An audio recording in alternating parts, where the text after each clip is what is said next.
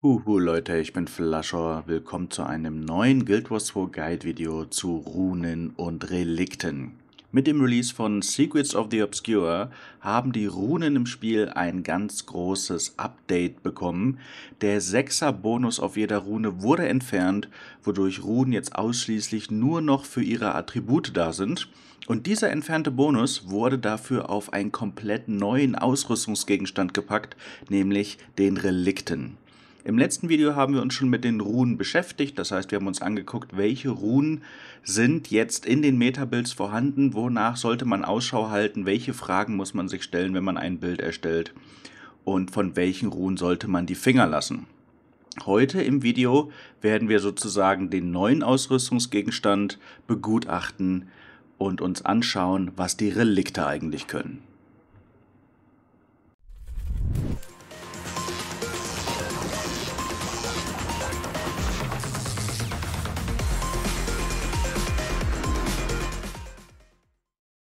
Wie gerade schon im Intro gesagt, wurden mit dem Release von Secrets of the Obscure die 6er Boni aller Runen komplett entfernt und dafür auf die neuen Relikte gepasst. Ja, der Gedanke dahinter ist, dass man jetzt sozusagen seine Lieblingsattribute der Runen mit seinem Lieblingseffekt ja, im Prinzip kombinieren kann. Das heißt, man ist nicht mehr daran gebunden, wenn man einen bestimmten Effekt will, dass man dann auch die Attribute dazu vorgegeben kriegt, so wie es vorher war. Das heißt eigentlich ein System, was sich deutlich besser anhört und was auch dafür sorgt, dass die Builds deutlich stärker werden. Allerdings hat Arnett gleichzeitig auch noch etwas an diesen Boni rumgeschraubt. Das heißt, nicht jeder Bonus, der vorher mal verfügbar war auf einer Rune, ist jetzt auch als entsprechendes Relikt verfügbar. Das heißt, viele Sachen wurden entfernt. Zum Beispiel alle Boni, die Sidekicks beschwören. Beispielsweise, dass ein Papagei beschworen wird oder dass ein Golem beschworen wird, der auf der Seite des Spielers kämpft. Diese Effekte gibt es jetzt alle nicht mehr. Dafür aber halt von ein paar anderen Runen und wiederum andere Effekte wurden geändert. Das heißt, sie heißen jetzt zwar noch so wie früher von der Rune und haben auch ähnliche Effekte, aber wurden schon in ihrer Mechanik etwas angepasst. Insgesamt gibt es jetzt 40 Kernrelikte. Das heißt Relikte, die von allen Spielern benutzbar sind, die ähm, irgendeins der Spiele oder Add-ons des Spiels haben. Da kommt man also immer dran. Und zusätzlich gibt es jetzt mit Secrets of the Obscure auch noch zwölf Add-on-exklusive Relikte. Arnet möchte auch in Zukunft dann noch weitere Relikte hinzufügen durch Updates und natürlich dann auch äh, in zukünftigen Add-ons wird es dann auch entsprechende Relikte immer geben. Allerdings, wenn man die haben will, muss man dann halt auch das entsprechende Add-on dafür haben. Ich würde sagen, als erstes schauen wir uns jetzt mal an, wie man überhaupt an diese Relikte kommt, denn es sind natürlich komplett neue Gegenstände, die man nicht einfach so geschenkt kriegt, die muss man sich wie jeden anderen Ausrüstungsgegenstand auch besorgen. Und von daher äh, würde ich sagen, schauen wir erstmal, wie man an die Kernrelikte kommt und dann aber auch, wie man an die jetzt aktuellen äh, Soto-exklusiven Relikte kommen kann. Für die Kernrelikte ist das relativ straightforward, wie man die erhalten kann.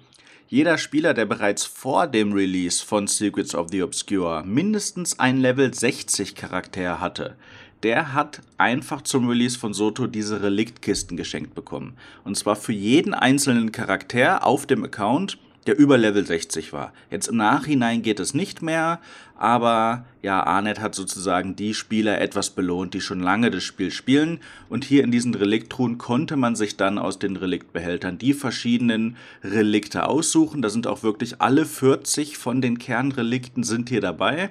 Und man hat pro Charakter drei Stück bekommen. Das heißt, man konnte sich sogar pro Charakter direkt mehrere Builds wieder erstellen, dass man zumindest mal sein altes Bild wieder neu starten kann, sage ich mal. Jetzt allerdings für neue Spieler ist das nicht mehr möglich. Die haben zwei Möglichkeiten, nämlich einmal kann man alle Relikte im Handelsposten kaufen. Ihr gebt einfach Relikt ein und da sind dann alle Relikte drin, die andere Spieler anbieten. Da sind auch wirklich alle 40 dabei. Und diese Spieler, die die hier anbieten, haben die aber selbst gecraftet. Das heißt, das ist die zweite Variante, an Relikte zu kommen. Und ähm, dazu muss man zu einem der rüstungsherstellenden Lehrer gehen. Es ist egal, in welcher Stadt, an welchem Ort. Ich bin jetzt hier im Turm des, des Zauberers. da könnt ihr zum Beispiel jetzt hier beim Meisterschneider, könnt ihr die Rezepte kaufen. Im allerletzten Tab sind die hier drin. Aber ihr braucht den entsprechenden Beruf, egal ob Rüstungsschmied, Lederer oder Schneider, äh, auf 400. Das heißt, gerade für neue Spieler ist das natürlich keine gute Variante. Die haben wahrscheinlich die Berufe noch nicht so hoch. Die müssten es dann im Handelsposten kaufen. Aber ihr habt auch die Möglichkeit, hier die Rezepte zu kaufen und die Dinger dann selber herzustellen. Bei den Add-on-spezifischen Relikten sieht die Sache etwas anders aus, denn die müsst ihr durch Achievements freischalten. Das heißt, indem ihr das Add-on spielt, indem ihr Story spielt, indem ihr Erfolge macht, könnt ihr diese Relikte freischalten. Ein Beispiel kann ich euch mal zeigen, das ist auch direkt eins der wichtigsten ähm, Relikte, wenn ihr Soto habt, zum Beispiel unter Chronik oder in Secrets of the Obscure Akt 2 kriegt ihr, wenn ihr das Meta-Achievement fertig macht, seht ihr, hier ist zum Beispiel das Relikt von Akim mit dabei. Dadurch kriegt ihr das direkt einmal, das heißt, ihr habt es auf dem Charakter, der es freigeschaltet hat, habt ihr das direkt. Die Dinger sind erstmal, sobald ihr Relikte bekommt, sind die auch Account gebunden und erst beim Anlegen werden die Seelen gebunden. Aber wie wir damit umgehen und wie wir die mehrfach nutzen können, gucken wir uns dann gleich noch an. Und sobald ihr dieses Relikt einmal freigeschaltet habt, schaltet es sich ab dann auch bei entsprechenden Händlern frei. Das heißt, wenn ihr dieses Relikt von Akim mehrfach haben wollt und nicht nur auf einem Charakter, Sobald ihr das einmal freigeschaltet habt, habt ihr hier zum Beispiel einen Händler, der steht im Turm des Zauberers, der ist hier auf der rechten Seite, der Archivar Ikur und der verkauft ab dann alle freigeschalteten Relikte immer wieder neu. Der verkauft jetzt hier für 250 Prise Sternstaub und 500 Forschungsnotizen. Das ist natürlich relativ teuer. Ähm, es gibt in dem Himmelswacht-Archipel auch noch einen NPC, der es dann für 250 statische Ladungen verkauft, anstelle von Prise Sternstaub. Also mit beiden Währungen aus Soto kann man die Dinger kaufen. Es gibt aber auch die Möglichkeit, die im WVW zu kaufen. Da habe ich mich verklickt. Wir schauen uns das einmal an. In Rand der Nebel kann ich gerade nicht. Aber ich werde jetzt einen kleinen Cut machen. Wir können eigentlich egal in welche Map gehen im WVW, aber im Rand der Nebel ähm, finde ich es immer am leichtesten. Ich habe mich doch gegen den Rand der Nebel entschieden, weil ich einfach nicht so lange warten wollte. Darum bin ich jetzt hier auf einfach irgendeine WVW-Karte gegangen. Hier in der Mitte ist meine Hauptbasis und hier müsst ihr den NPC Heldenherausforderungen Heldennotar finden. Den gibt's auf jeder WVW-Karte und im allerletzten Tab seht ihr, verkauft er ebenfalls die Relikte von Secrets of the Obscure und meiner Meinung nach deutlich billiger, denn gerade mal für 100 Ehrenabzeichen und 50 Zeugnisse von Jadeheldentaten kriegt man hier so ein Relikt. Wenn man auch nur ein bisschen WVW spielt, hat man diese Währungen wahrscheinlich eher als ja das, was man in, im Turm des Zauberers braucht mit diesen 500 Forschungsnotizen. Von daher empfehle ich, wenn ihr die Möglichkeit habt, die Relikte, wenn ihr die mehrfach braucht, eher im WVW zu kaufen. Im PvP gibt es jedoch auch noch einen NPC, wo ihr an diese Relikte kommen könnt. Schauen wir uns jetzt mal an, wie mit den Relikten eigentlich umgegangen wird. Wenn ihr so ein Relikt bekommt, ist es prinzipiell erstmal Account gebunden. Das heißt, ihr könnt es auf euren Charakteren hin und her schieben. Ihr müsst es nicht auf dem Charakter kaufen oder herstellen, wo ihr es gerne haben wollen würdet. Sobald ihr jedoch das Relikt auswählt, das heißt in eure Rüstung reinsetzt, beziehungsweise in eure Ausrüstung, ich kann das auch mal zeigen, wir haben jetzt hier neben dem Schmuck ganz rechts ein neues Feld, was für das Relikt, Relikt da ist. Und sobald ihr es hier auswählt, wird es seelengebunden. Das heißt, ab dann könnt ihr es nur noch auf diesem Charakter benutzen und nicht zwischen verschiedenen Charakteren hin und her wechseln. Es ist halt ein exotisches, ein exotischer Ausrüstungsgegenstand und nicht aufgestiegen. Aufgestiegen wird ja äh, nicht seelengebunden, sondern bleibt immer accountgebunden. Aber dadurch, dass das hier exotisch ist, wird es halt seelengebunden. Das Gute ist, ihr könnt es trotzdem zwischen verschiedenen Templates hin und her wechseln. Das heißt, ich habe jetzt hier beispielsweise das Feuerwerkrelikt drin und ich habe es auch wirklich nur einmal und gehe ich jetzt hier auf ein anderes Template, dann könnte ich hier trotzdem nochmal, wie ihr seht, das Feuerwerkrelikt auswählen. Das heißt, innerhalb eines Charakters könnt ihr das mehrfach benutzen. Dann müsst ihr euch das also nicht mehrfach kaufen, sondern ihr könnt es immer und immer wieder benutzen. Wollt ihr es jedoch auf verschiedenen Charakteren benutzen, dann müsst ihr es euch wirklich noch ein zweites Mal kaufen, weil es wie gesagt beim Anlegen automatisch seelengebunden wird. Es gibt zum jetzigen Zeitpunkt, wo ich dieses Video aufnehme, gibt es noch kein legendäres Relikt. Es ist allerdings eins angekündigt. Und zwar für das zweite große Update für Secrets of the Obscure. Das heißt vermutlich Ende 2023 oder Anfang 2024, da irgendwo. Da soll ein legendäres Relikt kommen, womit man dann natürlich auf dieses ganze Neucraften und sonstige Sachen damit machen verzichten kann, sondern dann kann man genauso wie auch bei legendärer Rüstung jederzeit einfach Stats und sowas alles ändern und selber auswählen, ohne dass man da mehrere von haben muss. Natürlich durch dieses Update, dass die ähm, Effekte von den Runen runtergenommen worden sind und auf die Relikte gepackt worden sind, ist es natürlich ein Nerf für alle Spieler, die legendäre Runen haben. Denn das Besondere an legendären Runen war ja auch, dass man jederzeit alle Stats wechseln kann und man sich genau diese legendären Runen besorgt hat, damit man halt nicht andauernd alles zweimal und dreimal kaufen muss, sondern jederzeit on the fly auf allen Charakteren einfach alles wechseln kann. Das heißt, diese Spieler haben jetzt natürlich einen Nerf bekommen. Arnett hat aber schon versprochen, dass wenn dann irgendwann das legendäre Relikt released wird, dass sie dann ähm, es den Spielern, die ein volles Set an legendären Ruhen haben, leichter machen, an das legendäre Relikt zu kommen. Das heißt, die kriegen einfach schon ein bisschen mehr Fortschritt hin zum legendären Relikt als Spieler, die das nicht haben. Einfach um das wieder ein kleines bisschen auszugleichen, dass sie jetzt hier im Prinzip ihre legendären Ruhen, die sie ja schon haben, entwertet bekommen haben. Jetzt als nächstes würde ich sagen, machen wir es genauso wieder bei den Runen. Wir gehen die verschiedenen Builds durch und schauen, welche Relikte kommen denn jetzt überhaupt in Frage für Power DPS Builds, für Condi DPS Builds, für Supporter oder auch für Tanks. Welche Relikte sind da gut? Welche können wir eigentlich vergessen? Und ja, worauf sollten wir Ausschau halten? Die Sache ist, als die Relikte released worden sind, dachte man erstmal, wow, die sind ja irgendwie alle kacke. Man wusste nicht so richtig, was soll man jetzt überhaupt wählen, weil die alle irgendwie sich blöd angehört haben. Zumindest mal nicht annähernd so stark, wie es vorher die Relikte, äh Quatsch, die Boni auf den Runen waren. Letztendlich haben wir, haben wir allerdings ein paar Relikte gefunden, die wirklich nicht nur gut sind, die sogar zum jetzigen Zeitpunkt übertrieben OP broken sind. Allerdings sind das so, ich sag mal, drei, vier Relikte, von den insgesamt 52, die es gibt. Und alle, die ich jetzt nicht aufzählen werde, die kann man im Prinzip auch vergessen. Von daher müssen wir gar nicht so viele Relikte uns angucken. Und wir fangen erstmal an mit Power. Da haben wir das vermutlich stärkste äh, Relikt, welches es für Powerklassen gibt, nämlich das Relikt des Feuerwerks. Wenn wir mit einer Waffenfertigkeit mit einer Wiederaufladezeit von 20 Sekunden oder mehr Schlagschaden verursachen, erhält man 6 Sekunden lang 10% Schlagschaden. Das Gute ist natürlich, 10% Schlagschaden ist sowieso ein sehr, sehr guter Buff, was damals nicht mal die Gelehrtenrune hatte. Selbst die hat keine 10% Schlagschaden gegeben. Und jetzt können wir hier mit diesem Relikt relativ einfach uns einen 10%igen Damage Buff holen, und den je nach Klasse wirklich lange aufrechterhalten. Das einzige Problem ist halt, dass wir hier eine Waffenfertigkeit nutzen müssen. Da zählen also keine Unterstützungsfertigkeiten von 6, 7, 8, 9 oder 0 dazu, sondern nur Waffenfertigkeiten. Und es muss mindestens eine Aufladezeit von 20 Sekunden haben. Da gibt es nicht so viele von. Es gibt jetzt hier einzelne Klassen, die können das relativ gut auf, aufrechterhalten. Es gibt aber auch Klassen, die können das überhaupt nicht, weil sie gar keine Waffenskills haben, die 20 Sekunden lang sind, beziehungsweise einen Cooldown von 20 Sekunden haben.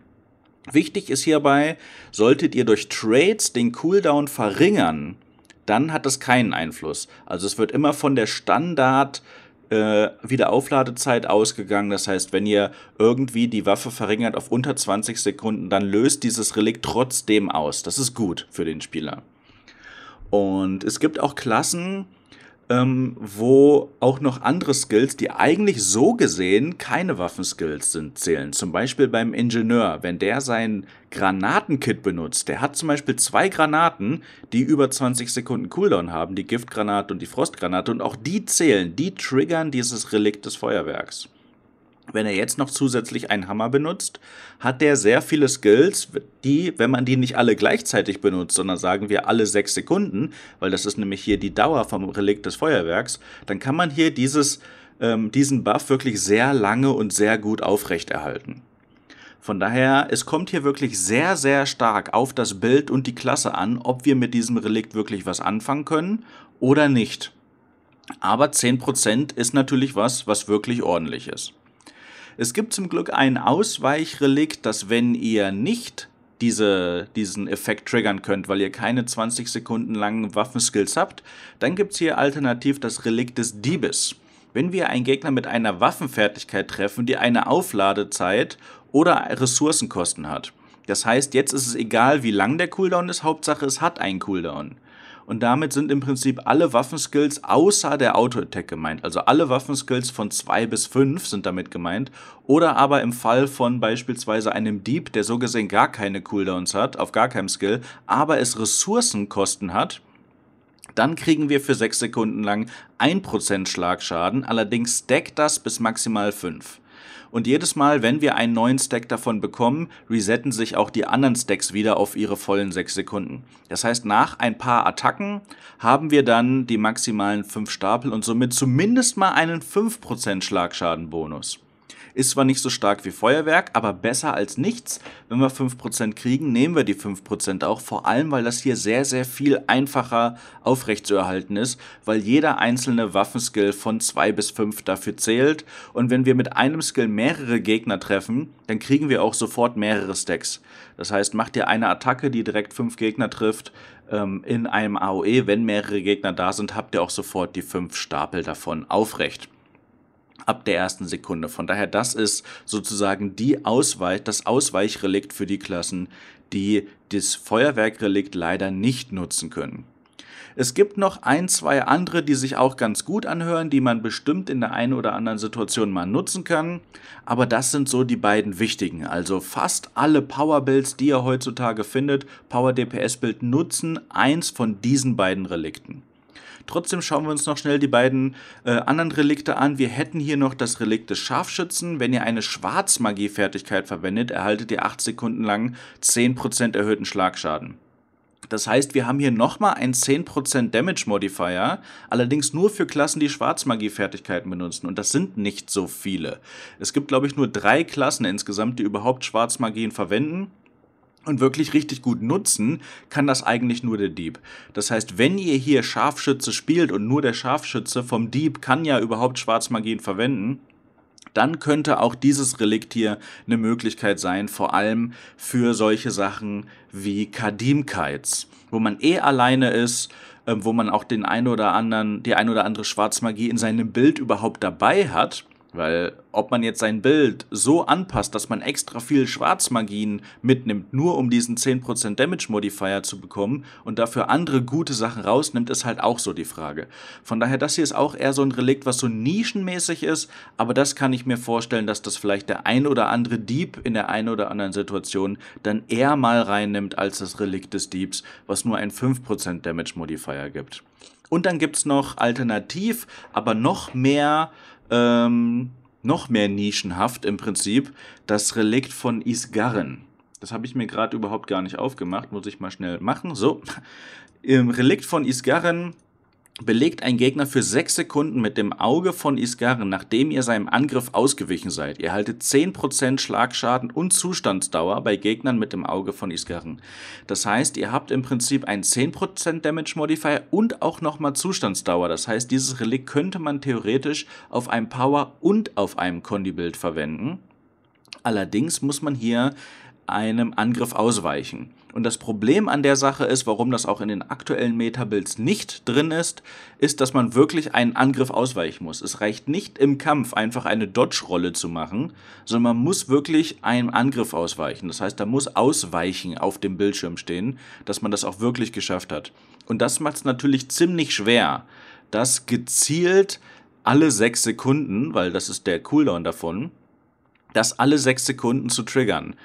Und ähm, darum ist es halt, ja, man kann im Prinzip nicht damit rechnen. Gegner greifen vor allem Raid-Bosse extrem unterschiedlich schnell an, manche ganz selten, manche ganz einfach. ähm, ganz, ganz schnell meine ich und ganz oft. Das heißt, es ist bei manchen einfach, äh, Attacken auszuweichen, bei anderen nicht so einfach. Von daher ähm, ist das hier ein Relikt, was man vielleicht in Open World verwenden könnte und auch nur vielleicht auf verschiedenen Klassen. Denn beispielsweise, wenn ihr auch wieder einen Dieb spielt, der hat ja den, den Dolchsturm, wo man sich die ganze Zeit dreht und dabei die ganze Zeit ausweicht. Das heißt, hier irgendeine Attacke zu treffen, die man dann ausweicht, während dieser Dolchsturm an ist, ist natürlich einfach. Und das Gute ist an diesem Relikt, wenn ganz viele Gegner um euch rumstehen, dann triggert das auch, weil das Relikt hat keinen internen Cooldown, triggert das auch auf jedem Gegner um euch rum. Das heißt, wenn ihr in fünf Gegnern drin steht und ihr macht Dolchsturm und ihr weicht allen Gegnern aus, dann kriegt jeder einzelne Gegner davon dieses Auge von Isgaren und ihr macht 10% mehr Schlagschaden und mehr Zustandsdauer. Und ich glaube, die Dauer kann sogar stacken. Das ist zwar prinzipiell nur sechs Sekunden an, aber wenn ihr mehreren Angriffen ausweicht, dann stackt das, glaube ich, sogar auch in seiner Dauer hoch. Von daher für solche Situationen Situation ist es nicht schlecht. Das ist definitiv ein Relikt, was man im Auge behalten sollte für die eine oder andere Situation, aber für, ich sag mal, Endgame Raid Content ist es vermutlich eher nichts. Da wird man eher bei diesem ähm, Relikt des Feuerwerks und des Diebes bleiben. Auch wichtig hier, das Relikt von Isgarren ist bis das einzige hier, was ich bisher angesprochen habe von den Power-Relikten, welches ihr nur durch Secrets of the Obscure bekommen könnt. Das heißt, das müsst ihr durch Soto ähm, freischalten. Alle anderen könnt ihr, wie gesagt, im Handelsposten kaufen oder selber herstellen, weil die zu den entsprechenden ähm, Kernrelikten gehören.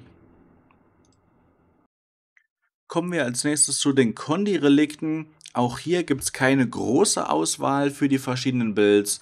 Bereits schon angesprochen von mir, gerade im Video, das Relikt von Akim, welches ihr freischaltet, wenn ihr das Meta-Achievement vom zweiten Akt von Soto fertig macht. Wenn ihr einen Gegner kampfunfähig macht, der fünf oder mehr Stapel Konfusion oder Pein besitzt, gehen Konfusion und Pein auf Gegner im Umkreis eures Ziels über. Hört sich erstmal komisch an, wie eigentlich nur so ein AOE-Relikt, allerdings ist die Beschreibung hiervon wirklich sehr ja, ähm, fehlerhaft und auch verwirrend, denn so funktioniert das Relikt eigentlich gar nicht. Es ist so, dass man schon einen Gegner kampfunfähig machen muss, klar. Und es hat auch einen internen Cooldown von 10 Sekunden. Das heißt, im Idealfall sollte man es alle 10 Sekunden auslösen, indem man einen Gegner kampfunfähig macht. Hier zählt allerdings einfach nur ein CC-Skill in den Gegner reinhauen egal ob der Gegner eine Breakbar hat oder keine Breakbar, einfach einen CC-Skill benutzen reicht, um das hier zu triggern. Und dann gehen auch nicht die Konfusion und Pein auf Gegner im Umkreis über, sondern der Gegner und Gegner in der Umgebung kriegen einfach Stacks von Pein und Konfusion.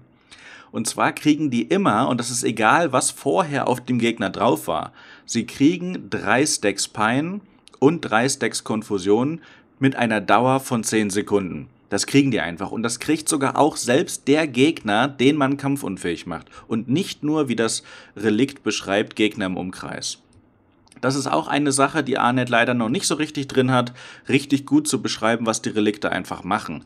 Weil auch hier steht ja einfach nur, es gehen Konfusion und Pein auf Gegner im Umkreis über, aber da steht nicht, wie viele überhaupt, wie lange, und was holt man letztendlich aus dem Relikt raus? Das heißt, das muss alles per Trial and Error von der Community rausgefunden werden. Zum Glück steht allerdings alles mittlerweile im englischen Wiki äh, von Guild Wars 2 drin. Das heißt, da kann man einfach ablesen, was machen denn jetzt die Relikte überhaupt letztendlich, ähm, um das einfach ein bisschen genauer beschreiben zu können.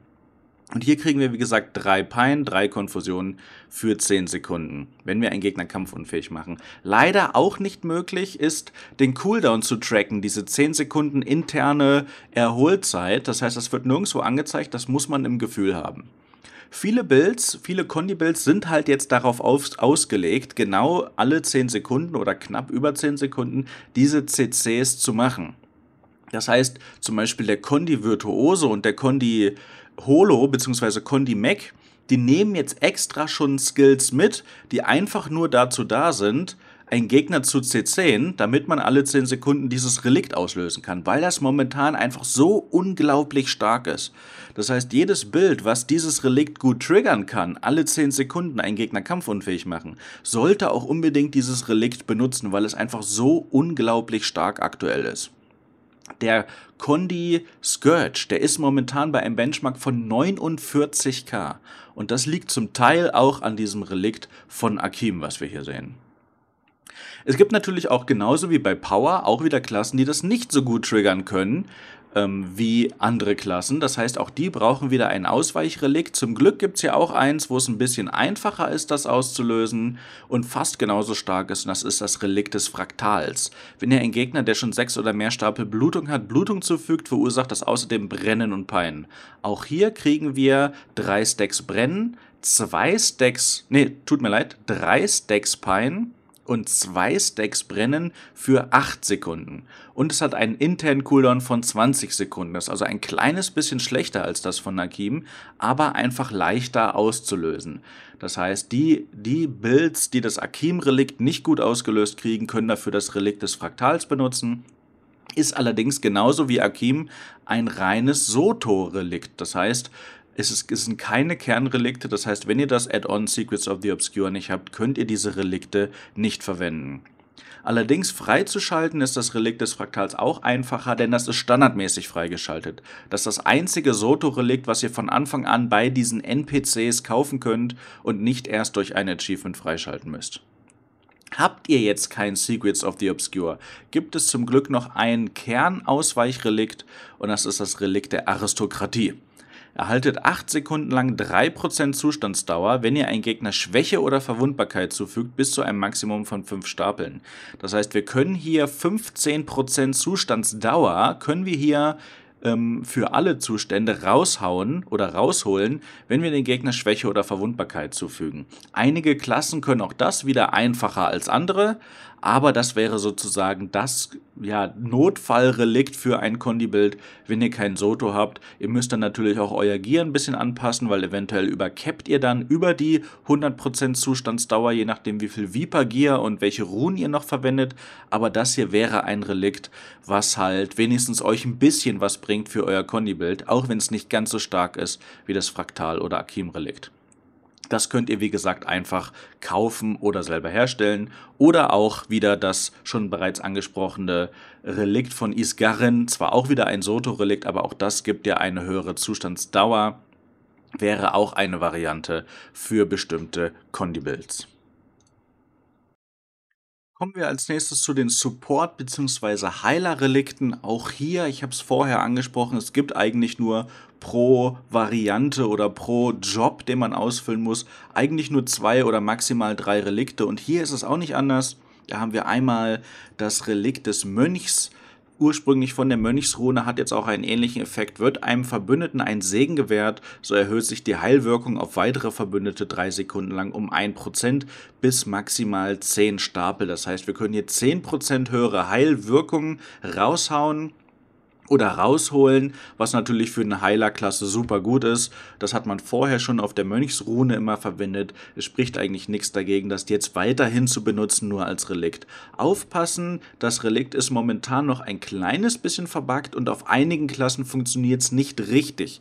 Das heißt vor allem der Mechanist, der hatte ein paar Probleme, dieses Relikt zu triggern. Ich weiß ehrlich gesagt nicht, ob es mittlerweile gefixt ist, aber bei dem wurde abgeraten, das zu verwenden da es einfach nicht gut ausgelöst hat auf dieser Klasse. Von daher, das muss man mal beobachten, wie sich das alles verhält. Prinzipiell ist das aber ein sehr gutes Relikt. Dann haben wir aber auch hier ein Ausweichrelikt für alle, wo halt das Relikt des Mönchs, wie gerade gesagt, eventuell verbuggt, nicht richtig funktioniert und das ist das Relikt von Dvena. Regeneration, die ihr anwendet, ist um 20% wirksamer. Ziemlich straightforward, einfach wenn wir Regeneration machen, ist das einfach stärker eigentlich nicht verkehrt, nicht schlecht, ist ein gutes Relikt, wo man nicht groß drauf achten muss. Das pass da passiert einfach alles automatisch. Man kann einfach spielen wie immer und man hielt einfach ein kleines bisschen mehr. Dann vielleicht auch ein bisschen nischenhaft das Relikt der Gnade. Ihr belebt Verbündete 20% schneller und mit 30% mehr Lebenspunkten wieder. Beispielsweise etwas für ein Heal Scourge. Klar, der Heal Scourge wurde in Vergangenheit sehr, sehr viel genervt und ist mittlerweile nicht mehr ganz so populär, wie er mal war. Aber ich meine, dieser ganze Heal Scourge, der basierte einfach ursprünglich nur darauf, Leute immer wieder und super schnell retzen zu können.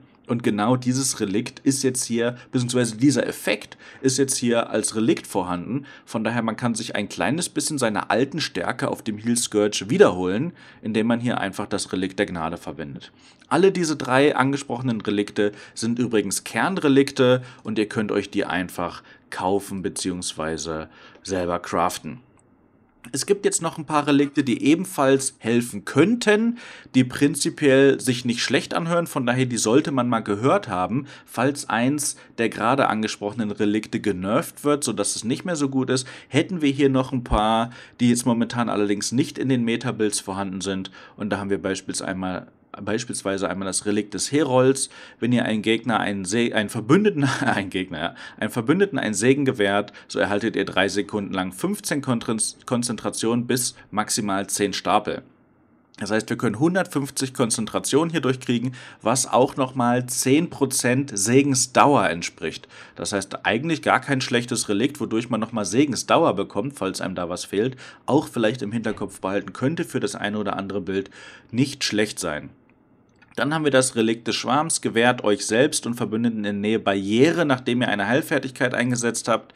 Hat, habt, könnte man vielleicht auch verwenden, um in Raid-Bossen oder Strike-Bossen bestimmte große Attacken zu umgehen, um sein Team einfach eine Barriere zu geben. Äh, in bestimmten wichtigen Momenten, allerdings mit einer internen Erholzeit von 30 Sekunden, kann man das wirklich nur für ganz bestimmte einzelne Attacken einsetzen, wenn überhaupt. Dann haben wir als nächstes das Relikt der Haltbarkeit. Nach dem Einsatz einer Heilfertigkeit erhaltet ihr Schutz und Regeneration. Bringt jetzt natürlich dem Team selber nichts, aber ist vielleicht auch so eine Variante, die man nutzen könnte, wenn man irgendwie tanken muss beispielsweise. Wenn man der Tank ist, dann kann man sich auch hier nochmal Schutz und Regeneration geben, auch um vielleicht einzelnen Attacken einfach auszuweichen, um durch Schutz nicht so viel Schaden zu kriegen oder auch wenn man so einen Job macht, wie zum Beispiel ein Handkite bei Daimos oder sowas. Und dann als letztes von den Support-Relikten auch eins, was sehr, sehr interessant ist und wo ich mir vorstellen kann, dass das vielleicht in Zukunft bei dem ein oder anderen Support-Bild vielleicht mal auftritt. Und das ist das Relikt von Mabon. Das ist das einzige Relikt, welches hier Soto-exklusiv ist, welches ihr erst freischalten müsst. Aber das hört sich wirklich sehr interessant an. Wenn ihr im Kampf Macht anwendet, erhaltet ihr 8 Sekunden lang Mabons Stärke. Und bei 10 Stapeln, also pro Macht anwenden, kriegt ihr einen Stapel. Und wenn ihr aber 10 Stapel erreicht, dann wird, werden danach alle Machtstapel 8 Sekunden lang um 25% stärker. Das heißt, man kriegt einfach mehr Kraft und mehr Zustandsschaden für seine Macht, die man bekommt. Und danach verliert man aber alles an Macht und Mabons Stärke nach diesen 8 Sekunden. Das Gute aktuell ist, das funktioniert momentan auch auf Verbündete. Das heißt, man kann damit die Macht seiner Verbündeten buffen. Man selber verliert dann zwar irgendwann alle seine Machtstapel, was natürlich schlecht ist, aber wenn das irgendeine Klasse macht, die vielleicht eh nicht so sehr auf Macht angewiesen ist, wie zum Beispiel ein Heal Druid oder ein Heal Mechanist, der, wo eh nicht so viel Schaden bei rumkommt, klar, die wollen natürlich auch Macht haben, aber wo es jetzt nicht so schlimm ist, wenn die mal ihre Macht verlieren, dann könnte man damit die Macht seiner Verbündeten buffen. Und das hört sich eigentlich wie ein ziemlich geiler, starker Buff fürs Team an. Es gibt Gerüchte, dass das Buggy ist, dass es eigentlich gar nicht für Verbündete zählen soll. Das heißt, es kann durchaus sein, dass hier in Zukunft noch ein Update kommt, was diesen Effekt, dass es auch für Verbündete zählt, entfernt. Dann bringt dieses Relikt natürlich wieder überhaupt gar nichts. Dann verschwindet das wieder in der Versenkung und bringt nichts. Aber wenn das wirklich, ich sag mal, gewollt ist, dass das die Macht der Verbündeten bufft, dann hört sich das hier eigentlich gar nicht so schlecht an und man sollte das auf jeden Fall mal im Hinterkopf behalten. Als letztes haben wir jetzt noch ein paar Relikte für den Job des Tanks, beziehungsweise für denjenigen, der eventuell bestimmte Jobs übernimmt in einem Raid, wie beispielsweise den schon angesprochenen Handkiter bei Daimos. Da gibt es beispielsweise ein Relikt des Verteidigers. Heilt euch nach dem Blocken eines Angriffs um 5% eurer maximalen Lebenspunkte. Wenn ihr innerhalb von 5 Sekunden nochmal blockt, werdet ihr jedes Mal um 1% weniger geheilt, bis hinunter zu einem Minimum von 1%. Hört sich jetzt eigentlich ziemlich geil an, vor allem für diesen Handkite.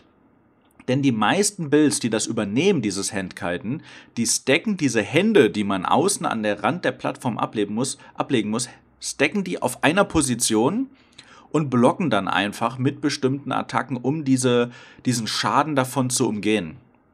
Und da jedes Mal pro Block, vor allem wenn viele von diesen Händen auf einen Haufen gesteckt sind, jedes Mal geheilt werden, ist natürlich eine wirklich gute Sache. Von daher, wer so ein Bild spielt, der auch wirklich viel mit Blocken spielt, es gibt auch Handkiter, die machen das ohne Blocken, da bringt das natürlich nichts. Aber beispielsweise auf einem Wiedergänger, das ist so eine der typischen Handkite-Klassen, der viel mit Blocks arbeiten kann, ist dieses Relikt hier wirklich gut. Sonst alternativ für Tanks wird zwar momentan auch in keinem Meta-Bild jetzt sage ich mal wirklich genutzt, aber auf jeden Fall was, was nicht verkehrt ist, ist das Relikt des Zentauren. Erhaltet Stabilität, wenn ihr eine Heilfertigkeit nutzt. Auch hier kann man eventuell dann gezielt für sich selber äh, bestimmte Attacken umgehen, wenn man einfach ein Heal-Skill vorher benutzt, zum Beispiel einfach ein Mantra zündet von einem Mesmer oder von einem von einem Wächter, um dann einfach Stabi zu bekommen, um irgendeine Attacke, um nicht umgeschleudert zu werden. Ist zwar jetzt nichts, was man unbedingt braucht, aber auch was nicht schlecht ist. Oder das Relikt des Chronomanten erhaltet Schutz, wenn ihr eine Brunnenfertigkeit nutzt. Auch eventuell eine Variante, wenn ihr als Chrono oder generell als Mesmer ja, eher als Chrono, weil der hat Brunnen, ähm, wenn ihr da tanken müsst, kommt ja auch immer mal vor, dass ein Chrono tankt. Und dann als letztes vielleicht noch jetzt unabhängig ähm, vom Job ist auch ein, ich sag mal, wirklich Nischenrelikt für bestimmte Builds, nämlich das Relikt der ungesehenen Invasion ist auch das einzige Relikt jetzt hier wieder in der Auflistung, welches Soto exklusiv ist. Gewährt euch selbst und Verbündeten in der Nähe zwei Sekunden lang Supergeschwindigkeit, wenn ihr in den Tarnmodus übergeht oder ihn verlasst. Das heißt, hier kann man ein bisschen Supergeschwindigkeit stacken. Das wäre zum Beispiel ganz nischenhaft. Wäre das zum Beispiel was für dieses Escort-Event in Wing 5, im Raid Wing 5, wo man Desmina, diesen Fluss der Seelen hoch eskortieren muss. Hier spielen sehr, sehr viele Teams damit, einfach Desmina die ganze Zeit Supergeschwindigkeit zu geben, dass die schneller läuft. Und das wäre hier ein Relikt, was dazu passen könnte. Früher hat man die Zephyrinrune, glaube ich, genutzt. Diese Effekte gibt es jetzt nicht mehr so ohne weiteres. Und da wäre halt dieses Relikt eine Variante zum Ausweichen.